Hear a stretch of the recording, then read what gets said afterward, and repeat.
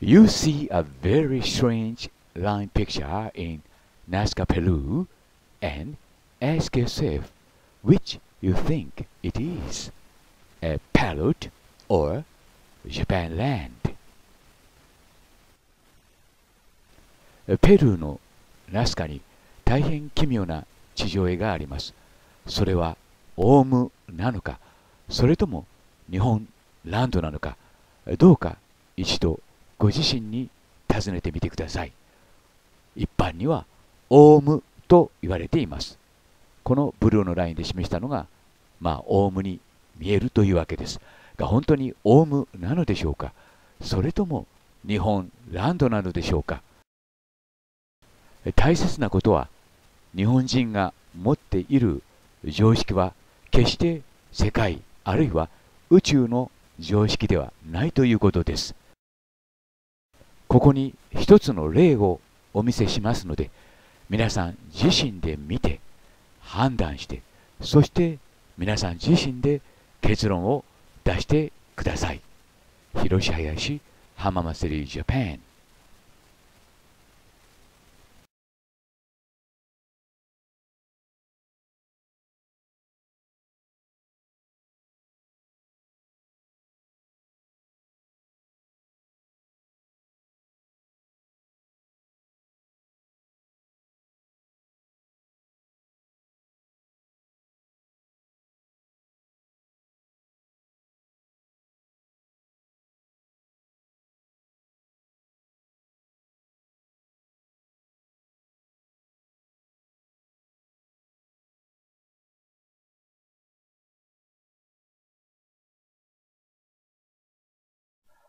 The Nihon Shoki, sometimes translated as the Chronicles of Japan, is the second oldest book of classical Japanese history.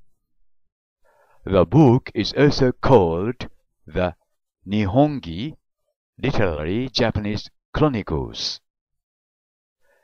It is more elaborate and detailed than Kojiki, the oldest, and has proven to be an important tool for historians and archaeologists as it includes the most complete extant historical record of ancient Japan.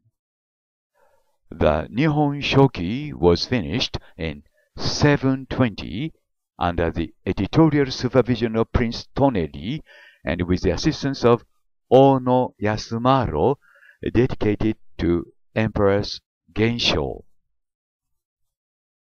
The Nihon Shoki begins with the Japanese creation myth explaining the origins of the world and the first seven generations of divine beings, and goes on with another myth as does the Kojiki, but continues its account through to events of the 8th century. It is believed to record accurately the latter reigns of Emperor Tenji, Emperor Tenmu, and Empress Jito.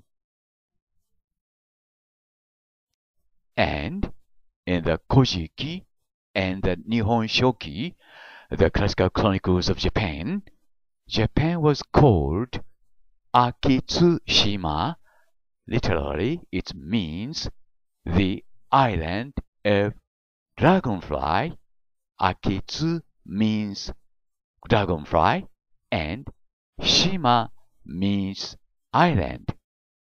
Then it is quite interesting to say that in the Nihon Shoki it is mentioned about Emperor Tenmu who described Japan land when he viewed Japan from high above the sky as follows. The Japan land looks like a dragonfly in copulation. This is a very important part of this video, so I repeat it again. Emperor Jimmu described Japan land when he viewed Japan from high above the sky as follows. The Japan land looks like a dragonfly in copulation.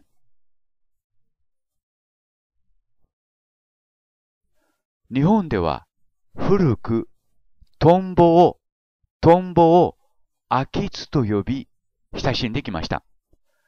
古くは日本の国土を指して秋津島、秋津島とする意名があり、日本書紀によれば山頂から国見をした神武天皇が簡単をもって秋津のトナメのごとし、つまりトンボの交尾のような形だと述べたといい、そこから秋津島の名を得たとされています。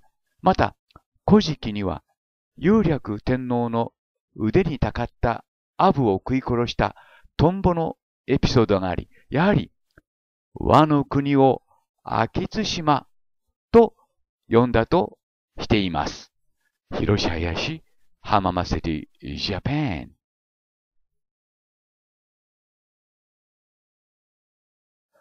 日本列島です。ジャパンランドです。この日本列島から北海道と四国を取り除きます。前方後円墳があるのは本州と九州、それに瀬戸内海沿いの四国の一部です。神々が神々の都市として選んだのは本州と九州ということになります。その日本は交尾しているトンボの形に似ているというのです。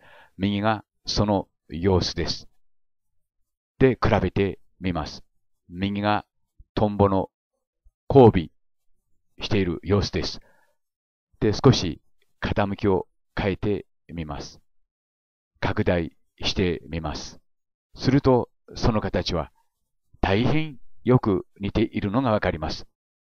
つまり、この姿を神武天皇が表現したということになります。日本は交尾しているトンボの形に似ているとです。皆さん自身で比較してみてください。確かに大変よく似ているのがわかります。神武天皇はそのように表現しました。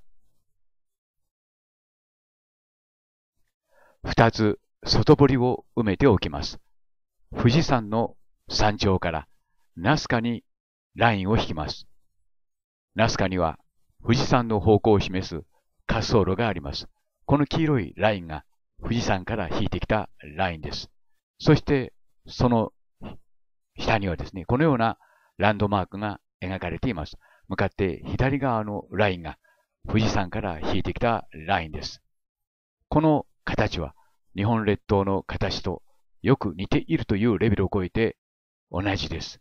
そして今引いた緑のラインが富士山から引いてきたラインです。そしてここにクロスポイントができます。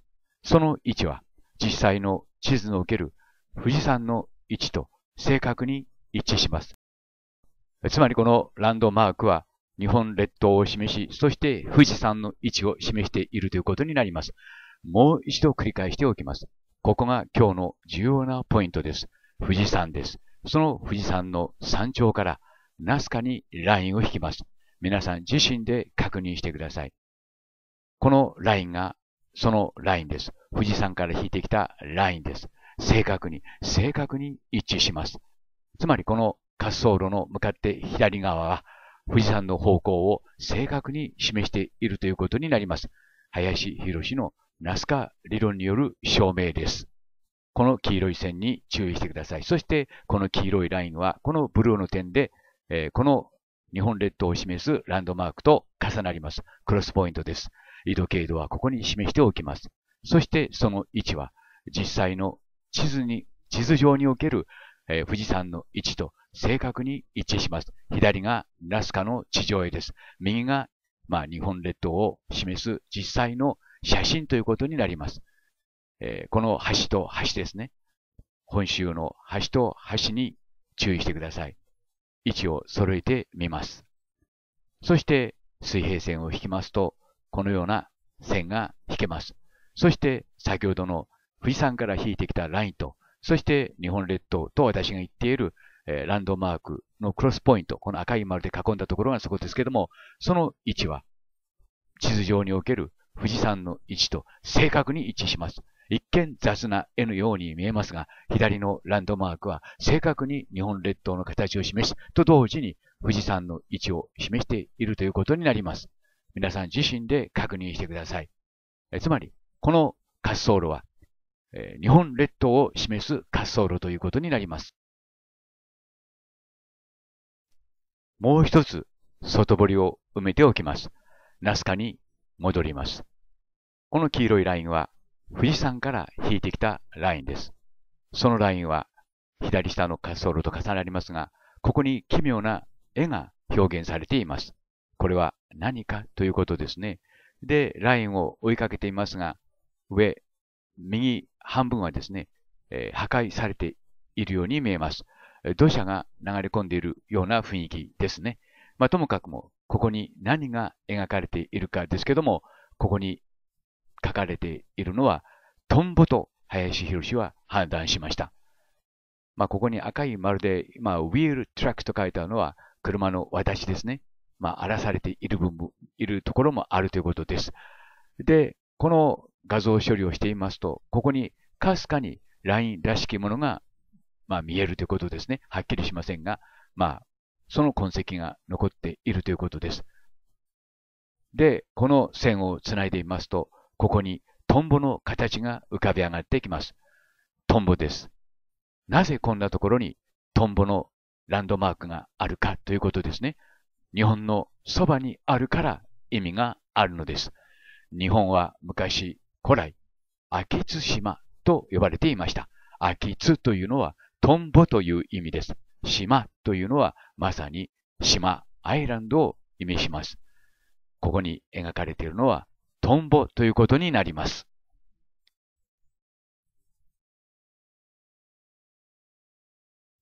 今までの話をもう一度整理してみます。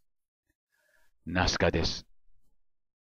このナスカに富士山から、富士山の頂点からラインを引いてみます。このブルーのラインが富士山の頂点から引いてきたラインです。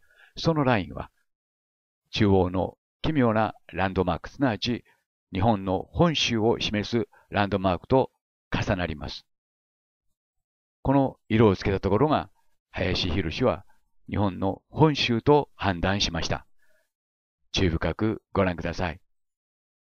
そして、実際の日本列島の地図と比べていただきます。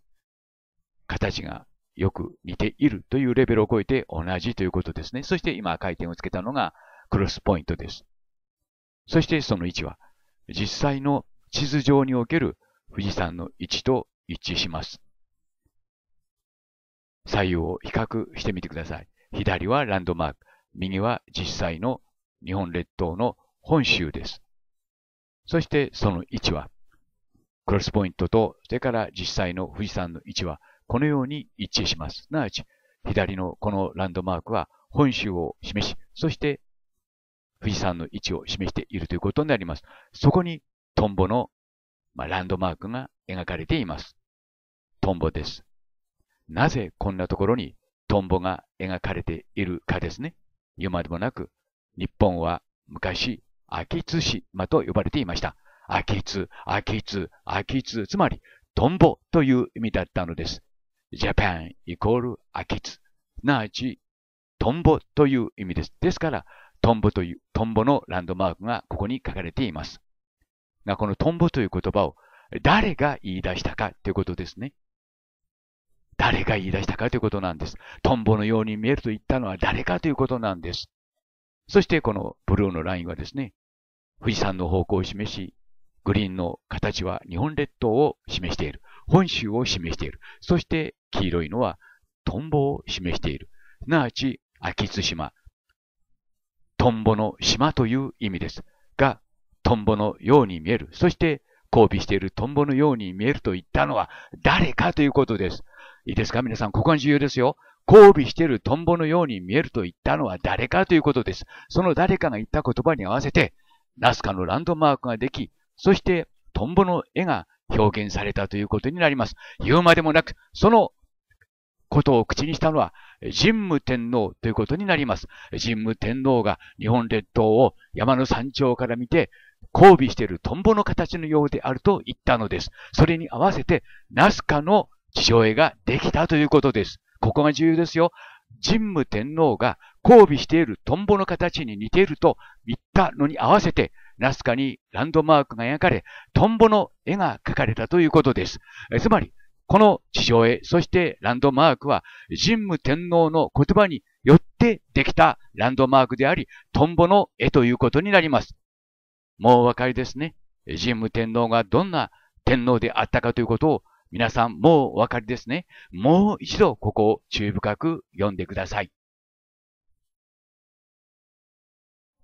日本では古くはトンボを秋津、秋津と呼び親しんできました。古くは日本の国土を指して秋津島とする意味があり、日本書紀によれば山頂から国見をした神武天皇が簡単をもって秋津のトナメのごとし、秋津のトナメのごとし、トンボの交尾のような形だ、トンボの交尾のような形だ、と述べたと言い、そこから、そこから秋津島の名を得たとされています。また、古事記には、有略天皇の腕に、たかったアブを食い殺したトンボのエピソードがあり、やはり和の国を秋津島と呼んだとしている。やはり和の国を秋津島をと呼んだとしているとあります。つまり、山頂から国見をした神武天皇が秋津のトナメのごとし、つまりトンボの交尾のような形だと述べたといい、そこから秋津島の名が生まれたというのです。ではその山頂とはどこなのでしょうか？言うまでもなく、私は富士山と考えています。この富士山の山頂から神武天皇は国見をしたというわけです。で、皆さんをその富士山の山頂へ案内します。北の方角を見た風景です。北東の方向を見た風景です。東を見た風景です。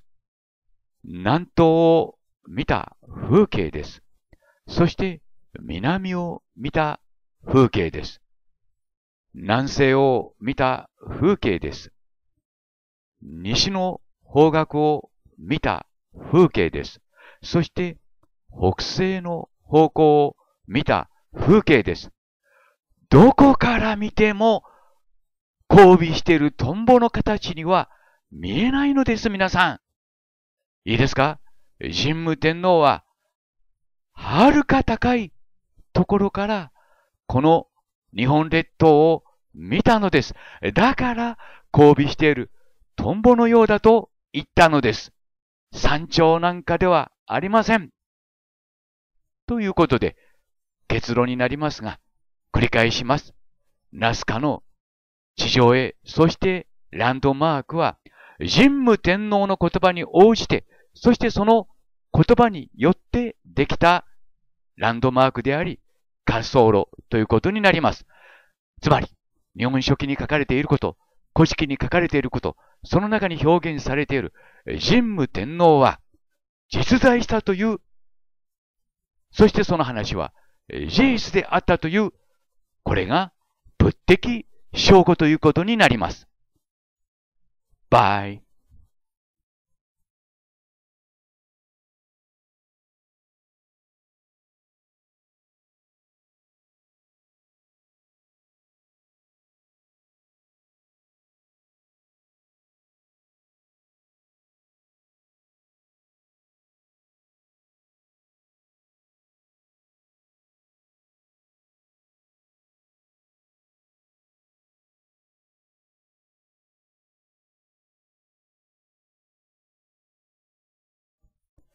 No one knows from when and who started calling Japan Japan. In ancient times of Emperor Jimmu in Nihon Shoki and Emperor Yuryaku in Kojiki, Japan was called Akitsushima, which literally means island of Dragonfly. That is to say that the ancient name of Japan was Akitsushima. Today's story starts from Mount Takachiho, which is no doubt the holiest of all holiest mountains in Japan. At the foot of the mountain, Takahara town or Haihara town is located. The summit of the mountain looks like a shape of a pyramid. 古く日本ではトンボを秋津と呼び親しんできました。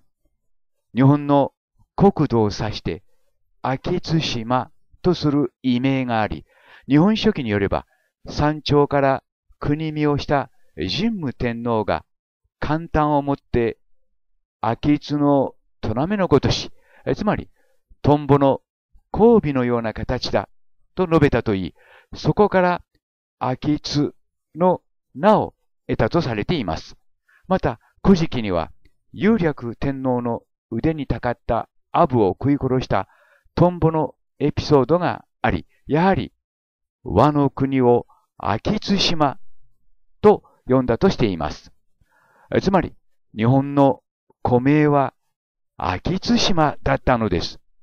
で、今日の物語は、九州の霧島連邦にある高千穂の峰から始まります。生山中の生山、天孫降臨の峰とされているのが高千穂の峰です。広し林浜祭り、ジャパン。今ご覧いただいているのがナスカの日本です。ナスカの中に日本を示すランドマークがありました。そのランドマークをですね、日本の富士山からの直線が横切ります。そしてその交点の位置と日本の地図の上における富士山の位置が正確に一致します。左がナスカの中の日本、そして右が日本を示す実際の地図です。皆さん自身で比較してください。えー、左の白いラインは富士山から引いてきたラインです。これぞまさしく日本が神々の土地であったという紛れもない証拠ということになります。日本における最も神聖な山といえば、え、霧島連邦にある高千穂の峰ということになります。天孫降臨の山として知られています。これが高千穂の峰です。で、今日はこの高千穂の峰からスタートします。生山中の生山ということになります。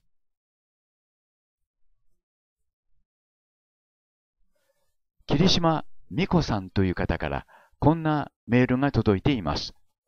霧島連山の高千穂の峰が日本最高の霊山であり、ふもとにあたる地区が高原町です。天の原ではなく、地上なので高原町なのです。ちなみに、高千穂の峰の天の逆さ鉾は、雨の水上主の神が崩御され、高千穂の峰に葬られた水上主の神の愛犬を指したというのが真相です。高千穂の峰は天然のピラミッドのような姿です。と。高千穂の峰の頂上からナスカに向かって線を引いてみます。高千穂の峰です。その頂上からナスカのグランドクロスの中心点に向かって線を引いてみます。その線は、この黄色い線がその線ですけども、サイトバルの中心を真直線に横切り、そしてその直線は伊勢神宮の下空の上を真直線に通り抜けます。え下空からのエラーは300、300メートルです。ここに、まあ、伊勢神宮、下空が位置します。つまり、サイトバル、伊勢神宮の下空を通ってナスカに向かうということです。左が伊勢神宮下空です。エラーは300メートル以内です。林博士のナスカ理論を使って説明します。ナスカです。無数の滑走路があります。左の黄色いラインは、霧島連邦の高潮の峰から引いてきたラインです。右の白い線は、これは富士山の滑走路です。やや折れ曲がるといった感じがします。まあ、念のために黄色い線を伸ばしてみます。下のグリーンのラインは、屋久島の、えー、タチウタケの天柱石から引いてきたラインです。つまり下のグリーンのラインは、タチウタケの天柱石の方向を示しています。正確に示しています。上の黄色いラインは、高千代の峰から引いてきたラインです。3分の2ほどまではほぼ重なりますが、途中からややずれるといった感じがします。まあ、ほぼ同じ方向に富士山と、それから霧島連邦の高千代の峰があるということになります。もう一度やってみますから、皆さんも注意深くご覧ください。この滑走路の上のラインは富士山、下のラインは、えー、多中の天柱石を示しています。そしてこの黄色いラインは霧島連邦の高潮の峰から引いてきたラインです。まあ、ほぼ重なるということですね。この上のラインは富士山の方向を示しています。ややずれますが、ほぼ同一線上に富士山、高潮の峰があるということになります。この滑走路のやや右上、ちょうど画面の中央あたりに、え奇妙なランドマークがあります。この黄色いラインは高潮の峰から引いてきた先ほどのラインです。そして中央に、え奇妙なランドマークがあります。このランドマークは何かということですね。で、線をたどってみるんですけども、途中からダメージを受けているように思います。このクエスチョンマークあたりで、まあ、地表面がですね、乱れて線が消えているような感じがします。断定はできませんけども、まあ、右下の写真と見比べていただくとわかりますように、この辺りで何かしらダメージを受けているように思います。車の輪立ちも見えます。が、この線をですね、えー、明度を変えてみますと、少し見にくいかもしれませんけども、薄い線がここに現れてきます。つまり、このラインはここまで続いているということですね。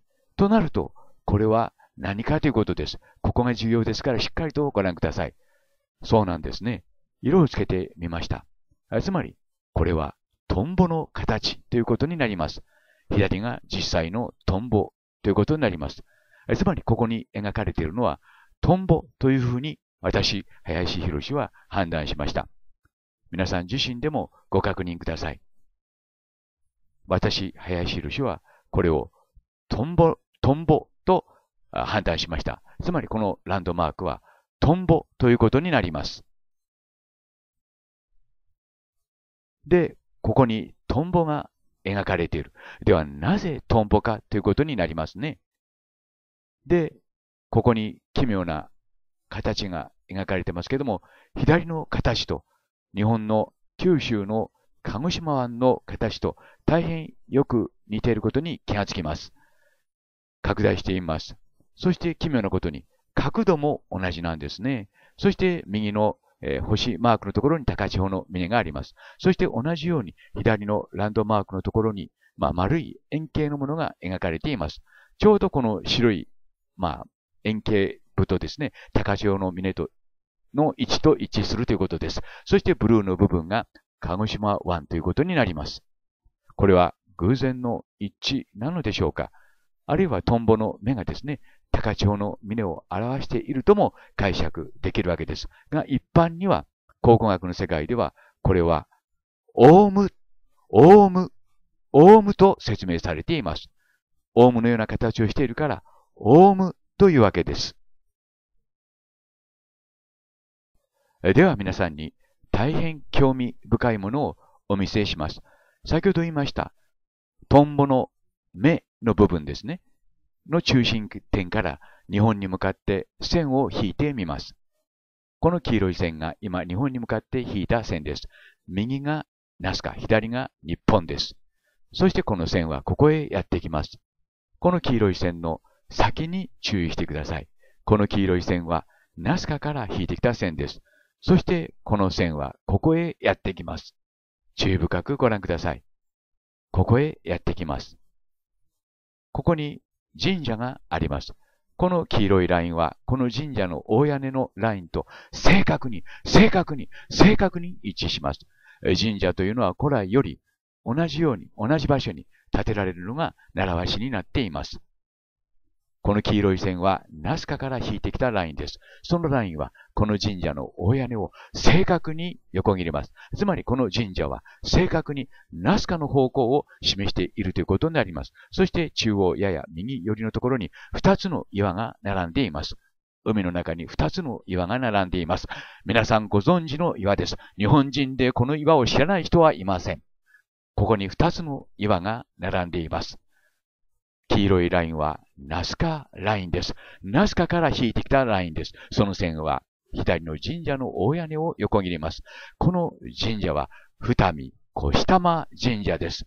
二見小下間神社です。そして二つの岩は言わずと知れた妙と岩ということになります。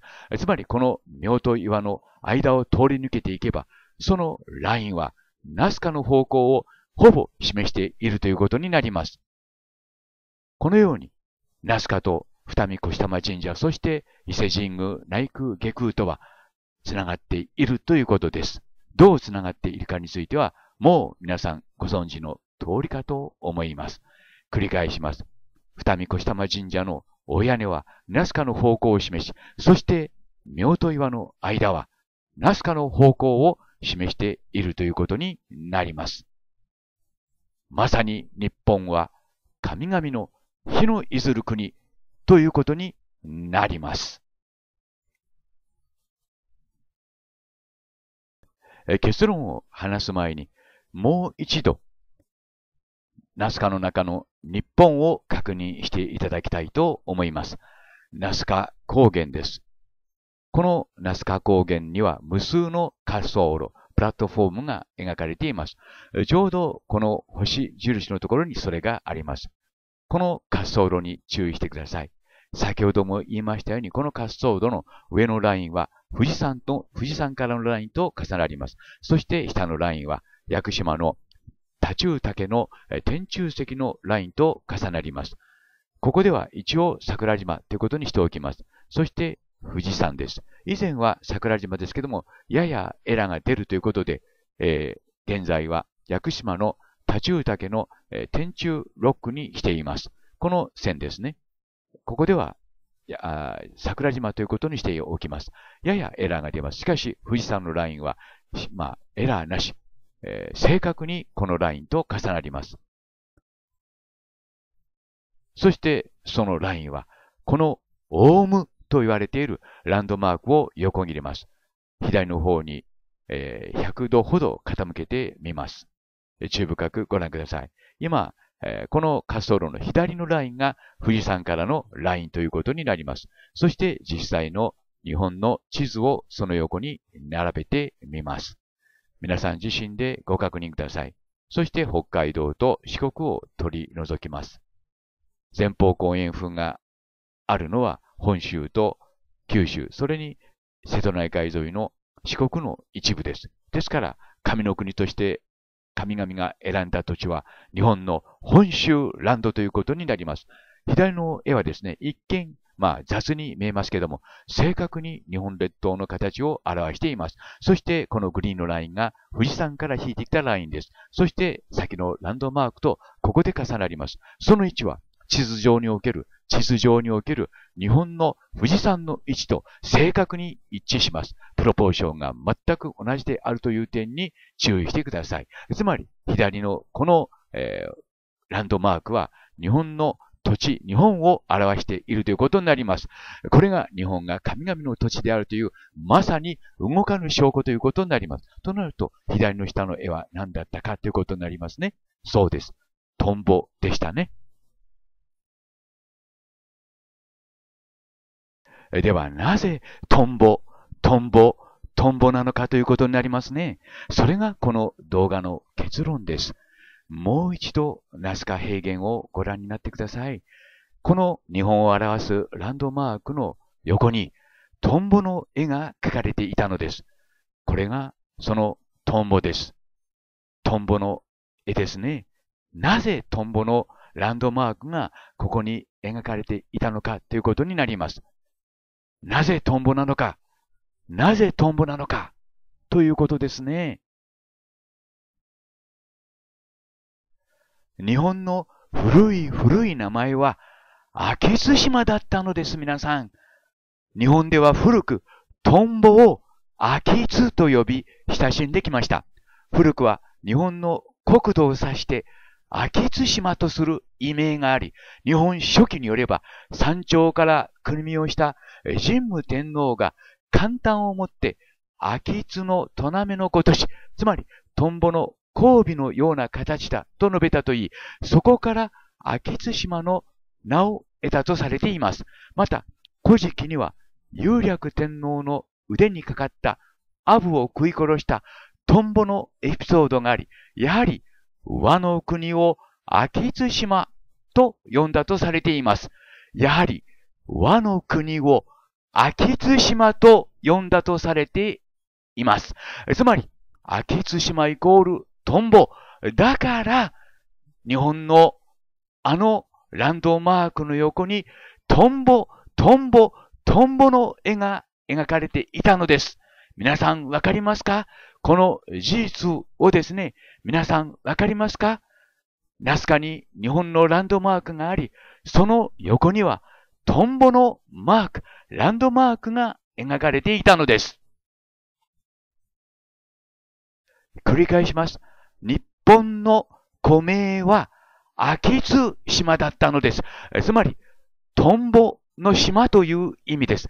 だから、ナスカに日本語の方向を示すランドマークがあり、その日本を示すランドマークの横にトンボが描かれていたのです。日本はまさしく神々の国だったということになります。と同時に、林博士のナスカ理論をこのような形で、このトンボマークが証明したということになります。林博士のナスカ理論はこのようにして証明されました。万歳です。私は日本の国歌を声高らかに歌い上げます。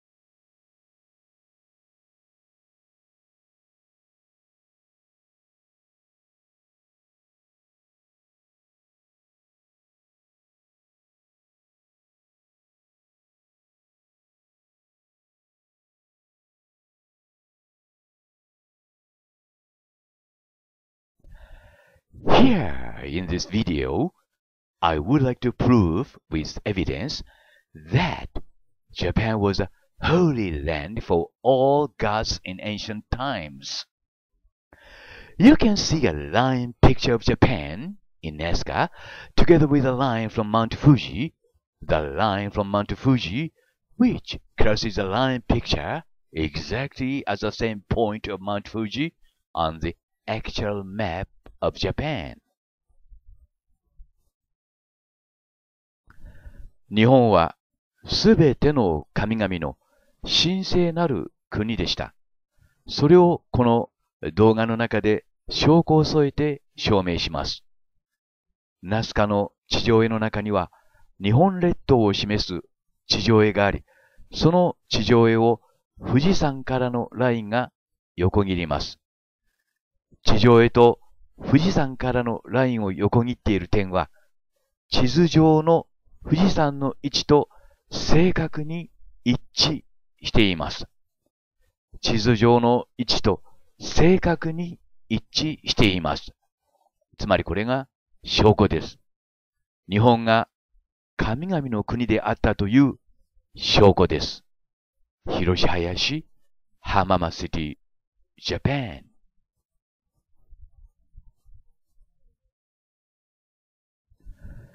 富士山からナスカに線を引いてみます。その線は、ナスカの一つの滑走路と重なります。富士山です。この頂点の中心からナスカに線を引いてみます。すると、ナスカには富士山の方向を示す滑走路があります。このラインは正確に富士山の方向を示しています。注意深くご覧ください。この黄色いラインですね。もう一度やっています。この線は富士山の頂点から引いてきた線です。そしてその滑走路はこの奇妙な形とここで横切ります。この横切る点に注意してください。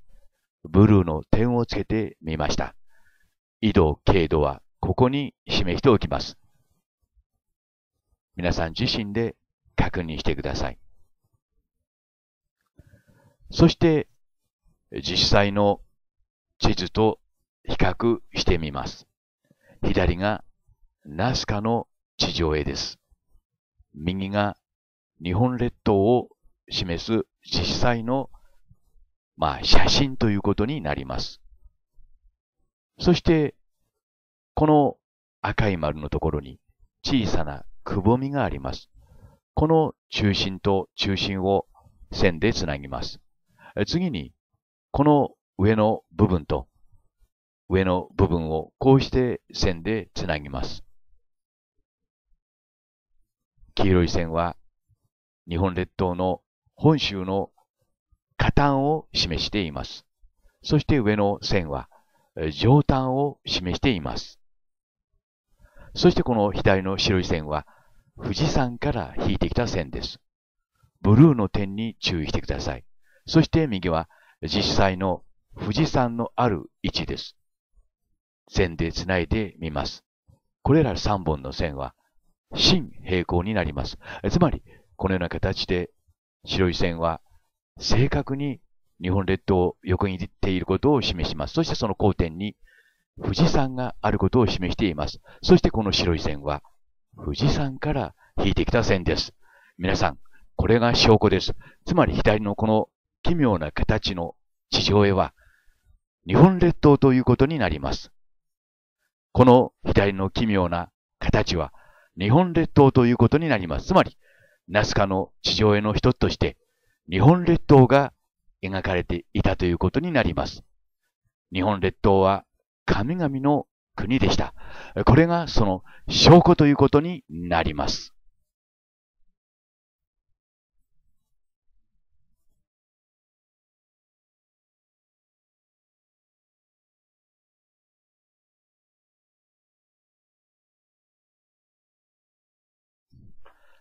Hello, this is Hiroshi Hayashi, Hamama City, Japan. Japan was a land for gods. Evidence and proof on Nazca theory.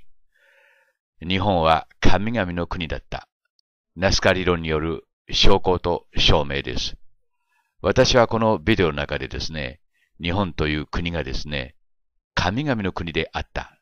今もそうだということを皆さんにお伝えしたいと思います。馬鹿げてるというふうにね、あの、言う前に10分だけ時間をください。これがナスカです。ナスカ、まあ、平原と言いますか、高原ですよね。このナスカ高原の平原のですね、一角に滑走路があります。この滑走路です。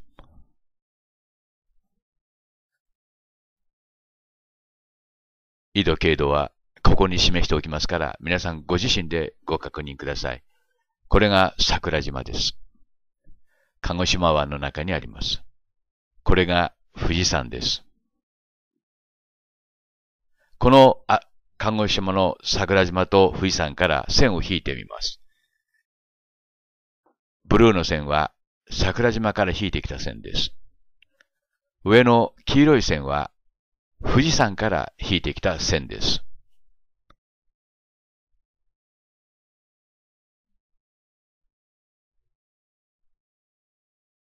こうして2本の線が並びますけども、ここに奇妙な絵があります。これをぐるっと回転してみます。半時計回りに回転してみます。こういう形になります。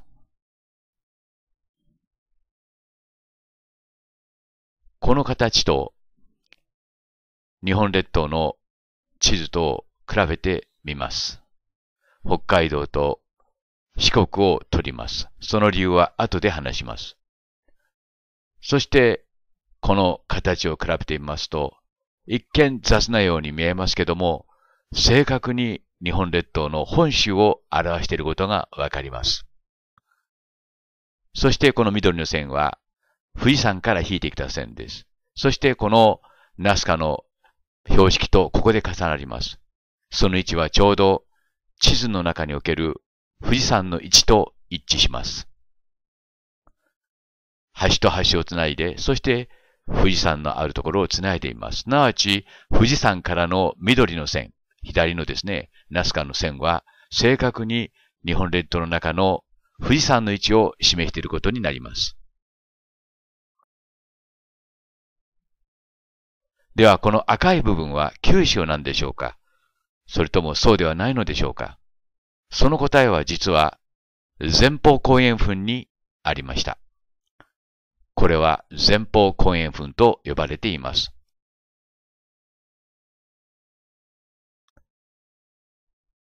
では、前方後円墳がどういう意味を持つのか、皆さんにお話したいと思いますが、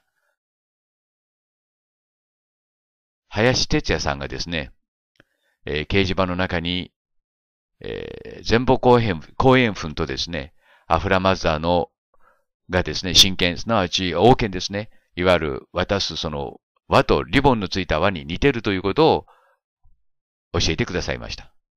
これがアフラマザーの輪と、それからリボンですね。リボン、リングというふうに表現されています。そしてこれは、symbol of kingship というふうに英語で訳されています。王権ですね。えー、いわゆる地球、地上のですね、統治権を人間に渡すときに、これを、まあ、シンボルとして、アフラマザー、神々は人間に渡していました。アフラマザーが渡しているところです。丸い輪にリボンがついているところに注意してください。丸い輪にリボンがついてますね。これが王権なんですね。で、日本のしめ縄はその形をかたどったものだと考えられます。そしてそれが現在に残っているわけですね。丸い輪にリボン、短冊ということになりますね。比べてみてください。これでなぜ日本にしめ縄があり、なぜ日本に前方後円墳があるかということを、がですね、皆さんにも分かっていただけると思い、いただけたと思います。そしてそれはですね、マヤ、それからインカにも同じものが残ってる、残っています。丸い輪にリボン、短冊ですね。そして、今日は紹介しませんでしたけども、エジプトでも同じものが見つかりました。こうして並べてみてください。丸い輪にリボン。丸い輪にリボン。丸い輪にリボン。世界中で見つかっています。すなわちこれが、神がですね、人間に渡した王権の象徴ということになります。ここは神々の、これは神々の紋章であるという意味なんですね。そしてその紋章をですね、神々は日本ランドの上に直接描きました。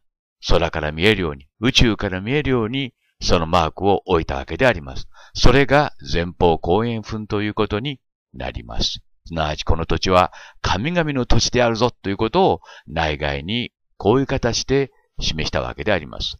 すなわち前方後円墳というのはですね、この土地は神に属する土地であるということを示したわけです。検証しています。前方後円墳というのはですね、全国で706箇所、え登録されています。まあ、全部紹介しきりませんでしたけども、その706の前方後円、他にもいろんな古墳がありますよ。小さな円墳も入れればもう無数にあるわけですけども、この前方後円墳がですね、あるところを調べてみますと、本州に623、そして九州に70、四国にも少しあります。それはあの、瀬戸内海沿いにあるわけですね。13個あります。数は、あの、まあそういうことですね。合計で706箇所で前方後円墳が登録されています。すなわち、前方後円墳がある土地は本州と九州だけというふうに考えていいわけですね。四国にも少しありますが。となると、神々は神々の都市として選んだのは本州と九州ということになります。ですから、ナスカの標識には本州と九州が描かれているということになります。となると、下の、左下のですね、この、まあ、グリーンで示したあ場所はですね、九州ということになります。九州はまさに大きさから比べてもまさに神々の、えー、島であったということがこれでよくわかります。結論から言いますと、このナスカの表、えー、に書かれたこの絵はですね、まさに日本の土地、日本ランドを示しているということです。日本ランド、すなわち本州と九州を示しているということです。そして、えー、本州と九州がですね、まあ、だ、だから、前方後円墳は本州と九州、まあ四国にはありますけども、に見られるということです。そして同時にですね、こうしたランドマークがあること自体がですね、もう一度、あの、富士山の線を見てください。こと自体が、日本がですね、神々の国であるという証拠になります。いかがですか？これが私が皆さんにお見せできる証拠と証明です。Thank you very much for watching and see you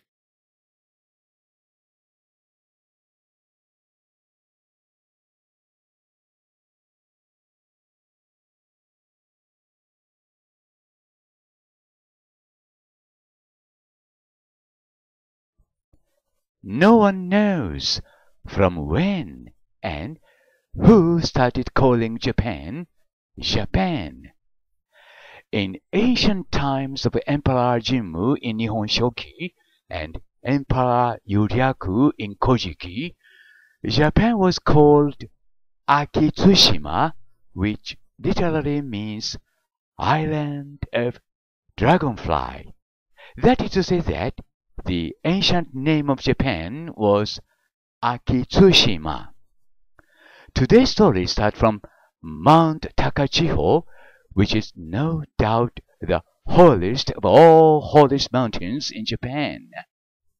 At the foot of the mountain, Takahara Town or Haihara Town is located. The summit of the mountain looks like a shape of a pyramid. 古く日本ではトンボを秋津と呼び親しんできました。日本の国土を指して秋津島とする異名があり、日本書紀によれば山頂から国見をした神武天皇が簡単をもって秋津の虎目のごとし、つまり、トンボの交尾のような形だと述べたといい、そこから秋津の名を得たとされています。また、古事記には、有略天皇の腕にたかったアブを食い殺したトンボのエピソードがあり、やはり和の国を秋津島と呼んだとしています。つまり、日本の古名は秋津島だったのです。で、今日の物語は、九州の霧島連邦にある高千穂の峰から始まります。生山中の生山、天孫降臨の峰とされているのが高千穂の峰です。広し林浜祭りジャパン。今ご覧いただいているのがナスカの日本です。ナスカの中に日本を示すランドマークがありました。そのランドマークをですね、日本の富士山からの直線が横切ります。そしてその交点の位置と日本の地図の上における富士山の位置が正確に一致します。左がナスカの中の日本、そして右が日本を示す実際の地図です。皆さん自身で比較してください。えー、左の白いラインは富士山から引いてきたラインです。これぞまさしく日本が神々の土地であったという紛れもない証拠ということになります。日本における最も神聖な山といえば、え、霧島連邦にある高千穂の峰ということになります。天孫降臨の山として知られています。これが高千穂の峰です。で、今日はこの高千穂の峰からスタートします。生産中の生産ということになります。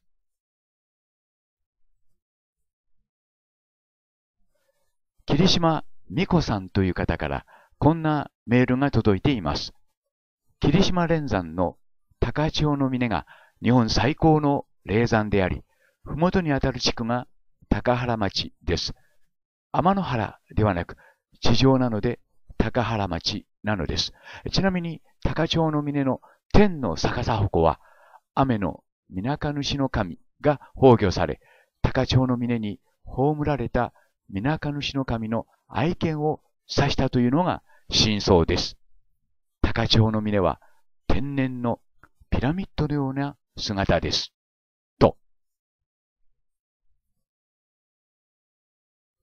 高千穂の峰の頂上からナスカに向かって線を引いてみます。高千穂の峰です。その頂上からナスカのグランドクロスの中心点に向かって線を引いてみます。その線は、この黄色い線がその線ですけども、サイトバルの中心を真直線に横切り、そしてその直線は伊勢神宮の下空の上を真直線に通り抜けます。えー、下空からのエラーは300、300メートルです。ここに、まあ、伊勢神宮、下空が位置します。つまり、サイトバル、伊勢神宮の下空を通って、ナスカに向かうということです。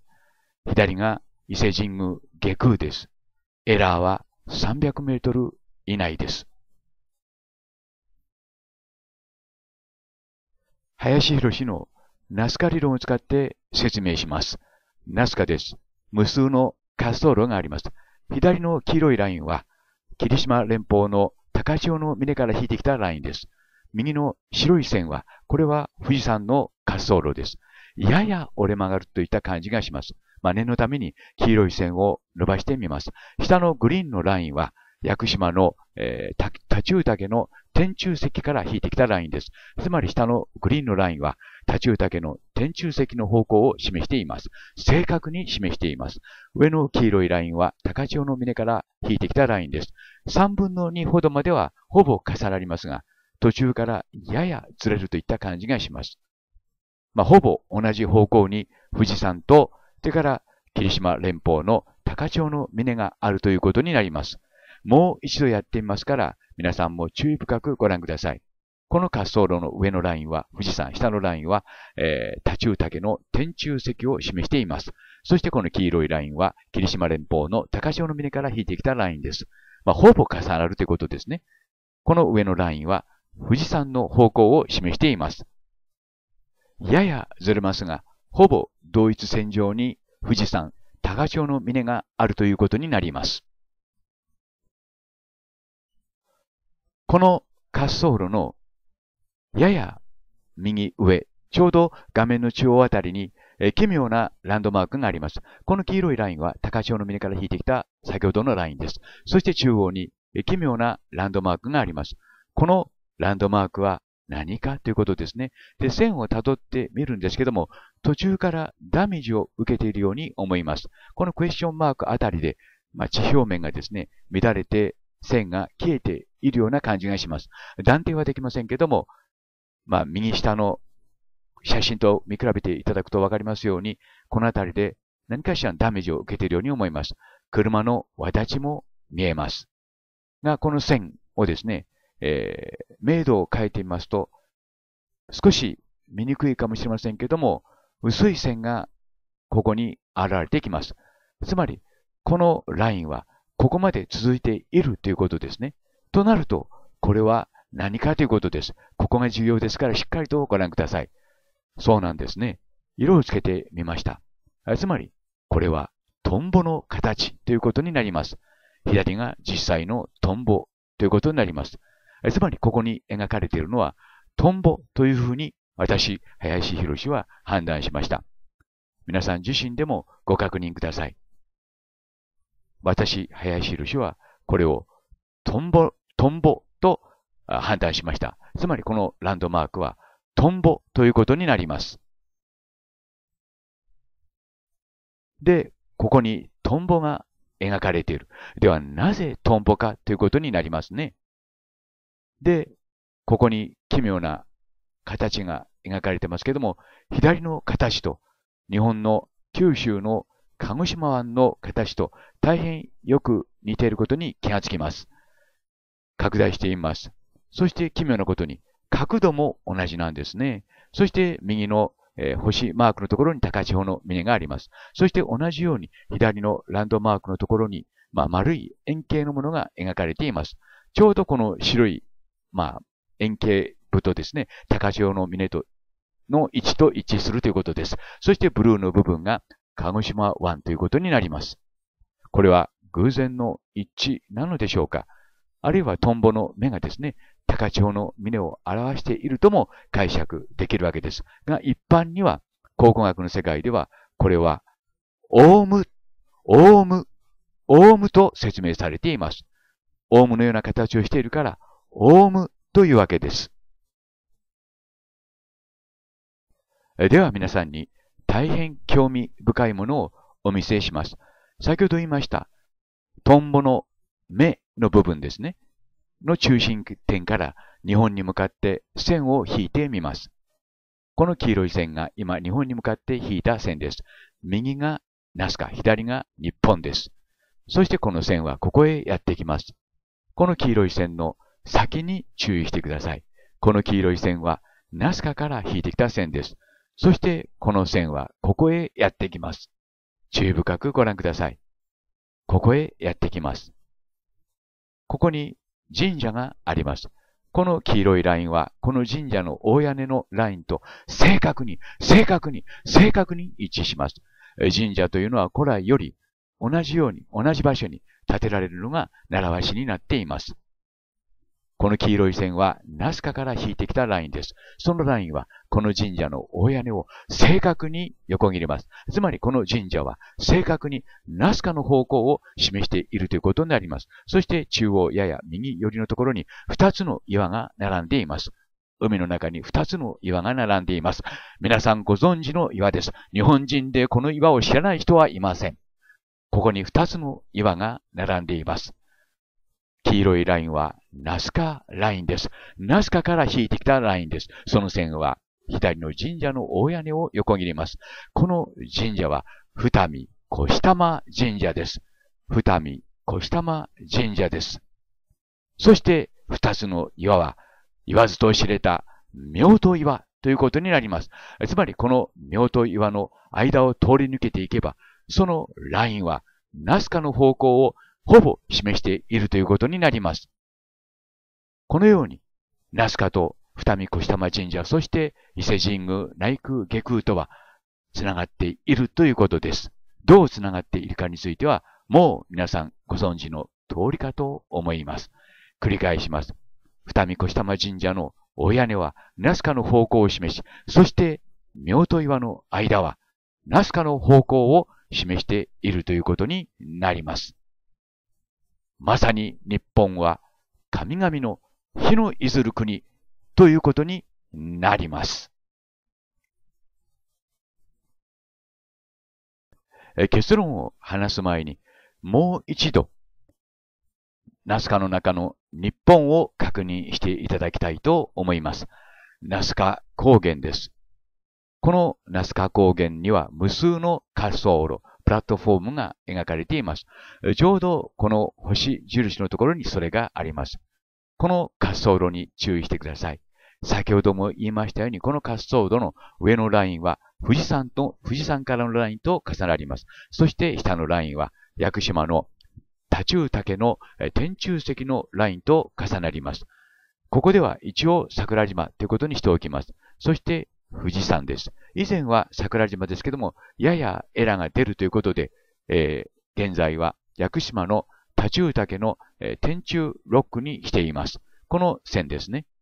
ここではや桜島ということにしておきます。ややエラーが出ます。しかし、富士山のラインは、まあ、エラーなし、えー、正確にこのラインと重なります。そして、そのラインは、このオウムと言われているランドマークを横切ります。左の方に、えー、100度ほど傾けてみます。注意深くご覧ください。今、えー、この滑走路の左のラインが富士山からのラインということになります。そして実際の日本の地図をその横に並べてみます。皆さん自身でご確認ください。そして北海道と四国を取り除きます。前方後円墳があるのは本州と九州、それに瀬戸内海沿いの四国の一部です。ですから、神の国として神々が選んだ土地は日本の本州ランドということになります。左の絵はですね、一見まあ雑に見えますけども、正確に日本列島の形を表しています。そしてこのグリーンのラインが富士山から引いてきたラインです。そして先のランドマークとここで重なります。その位置は地図上における、地図上における日本の富士山の位置と正確に一致します。プロポーションが全く同じであるという点に注意してください。つまり、左のこの、えー、ランドマークは日本の土地、日本を表しているということになります。これが日本が神々の土地であるという、まさに動かぬ証拠ということになります。となると、左の下の絵は何だったかということになりますね。そうです。トンボでしたね。では、なぜトンボ、トンボ、トンボなのかということになりますね。それがこの動画の結論です。もう一度、ナスカ平原をご覧になってください。この日本を表すランドマークの横に、トンボの絵が描かれていたのです。これが、そのトンボです。トンボの絵ですね。なぜトンボのランドマークがここに描かれていたのかということになります。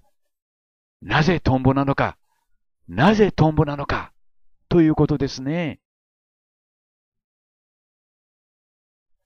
日本の古い古い名前は、秋津島だったのです、皆さん。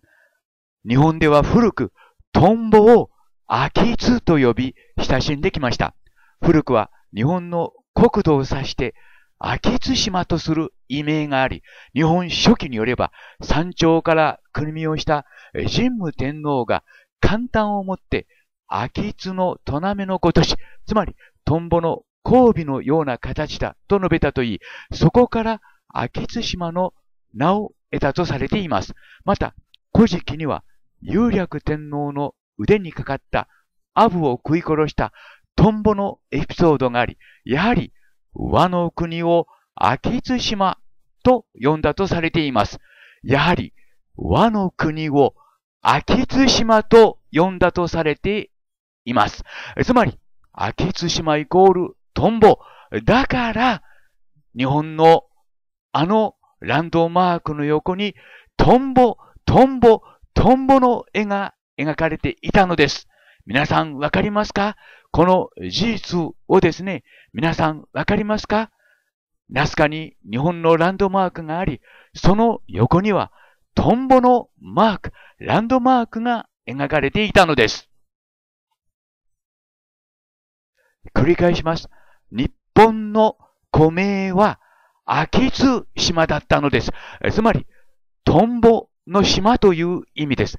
だから、ナスカに日本の方向を示すランドマークがあり、その日本を示すランドマークの横にトンボが描かれていたのです。日本はまさしく神々の国だったということになります。と同時に、林博士のナスカ理論をこのような形で、このトンボマークが証明したということになります。林博士のナスカ理論はこのようにして証明されました。万歳です。